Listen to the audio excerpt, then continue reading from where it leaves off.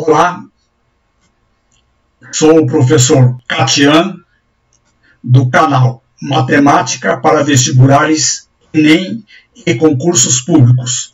Mais uma videoaula, continuando com a resolução de questões de matemática e suas tecnologias do Enem 2021, realizado agora no mês de dezembro. Estamos resolvendo questões do caderno amarelo segundo dia. Vamos resolver hoje a questão número 168. Observem as numerações correspondentes às demais versões do Enem. Caderno azul, cinza e rosa. Vamos resolver então a questão número 168. A cifra de César é um exemplo de um método de codificação de mensagens usado por Júlio César para se comunicar com seus generais. No método, cada letra era trocada por uma letra que aparecia no alfabeto um número fixo de casas adiante ou atrás de forma cíclica. A seguir, temos um exemplo em que cada letra é substituída pela que vem três posições à frente. Para quebrar um código como esse, a análise da frequência das letras de um texto é uma ferramenta importante. Uma análise do texto do romance O Guarani, de José Alencar, é composto de 491.631 letras. Gerou o seguinte gráfico de frequências abaixo. Após codificar esse texto com a regra do exemplo fornecido, faça uma nova análise de frequência no texto codificado. As quatro letras mais frequentes em ordem decrescente de frequência do texto codificado são. Estas informações aqui em cima, ela é irrelevante. Nós vamos verificar aqui, nesse gráfico aqui, as quatro letras mais frequentes. Depois nós vamos verificar a decodificação. Então, observe. Aqui nós temos um gráfico de colunas. Observem quais são as letras mais frequentes nesse texto de José de Alencar. Então, observe. Nós temos aqui o seguinte. Letra A.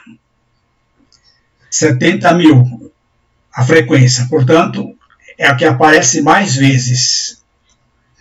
Em seguida, nós temos aqui a letra E, com um pouquinho mais que 60 mil de frequência. Então, vamos colocando já em ordem decrescente de frequência. A outra letra mais frequente é a letra O, que aparece um pouquinho mais de 80 mil vezes. E a última aqui, dá para observar que é essa letra S.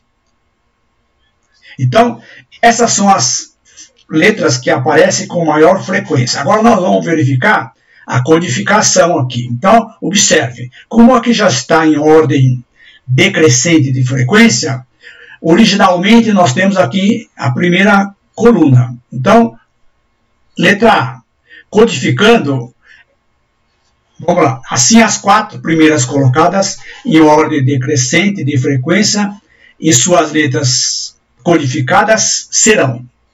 Letra A. Codificando aparece é a letra B. Então, se vocês observarem aqui, D, D, então já está eliminado três alternativas. Tá? Mas não vamos resolver dessa forma. A segunda letra que aparece com mais frequência, com maior frequência, é a letra E, que corresponde à letra H. Portanto, é D e H. Já praticamente já nós resolvemos a questão que é exatamente a alternativa letra C. Mas vamos continuar. A próxima letra aqui é a letra O, que corresponde, codificando, à letra R que realmente bate aqui. Ó. A outra letra aqui é a letra S, codificando corresponde à letra V. Então, B, H, R e V. Nós já vimos que nós já tínhamos matado a questão simplesmente com as duas primeiras letras, D, H. Portanto, a alternativa é a letra C. Aproveita, faça sua inscrição no meu canal, ative o sininho para receberem as nossas novidades e os links das demais, demais questões das videoaulas do Enem 2021, questões de matemática e suas tecnologias. Gostou? Dá um like. E vocês que estão estudando para a reaplicação, está marcada para os dias 9 e 16 de janeiro de 2022, acessem a playlist Resolução Enem 2021. Lá vocês encontrarão todas as questões do Enem 2021, questões de matemática e suas tecnologias, devidamente corrigidas e comentadas pelo professor Catian. O link está na descrição da videoaula. Espero que tenham gostado e até as próximas.